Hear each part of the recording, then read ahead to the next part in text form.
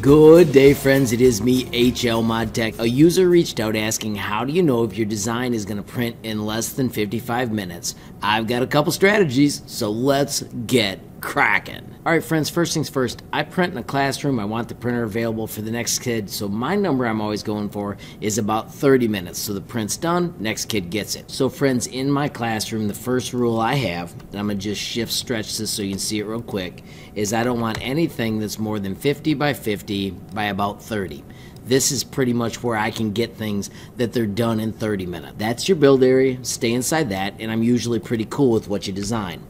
The other thing is when you're done with the design, so this is a spinner that I know takes about 30 minutes, you can export your design as an STL. I'm going to save mine to my downloads folder super quick. We'll just leave that name as Pip Spinner 2 and then launch Cura. Cura is what I slice with. I'm going to open that file from there. Once again, downloads. There's my Pip Spinner. And then once it slices, you can see here I've got my 0.3 layers. We'll slide down here. I've got the thickness of 1.2, so they're a little bit sturdy. I'm going to infill at 20. Sometimes I adjust that. And then my print speed with this printer, and every printer is different, I have it 75.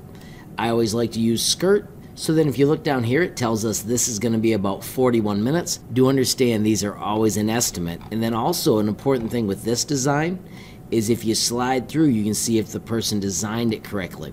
So this has the gap all the way through, so when it's finished, it'll spin. So this preview is pretty darn handy with this project. Other projects, it doesn't matter as much, but here's how you can estimate how long it's gonna take. Once again, this is with me using 0.3 layers, which is extra fast. Not the highest quality, but perfect for the projects I'm shipping home with the students. So friends, there you have it. Those are my guidelines for how to print things in under 55 minutes. Friends, if you're interested in that pip spinner, I'll make sure I have a card up above. Of course, friends, if you enjoyed the video, please give it a like. Please also give it a share so more people can learn about HL Mod Tech.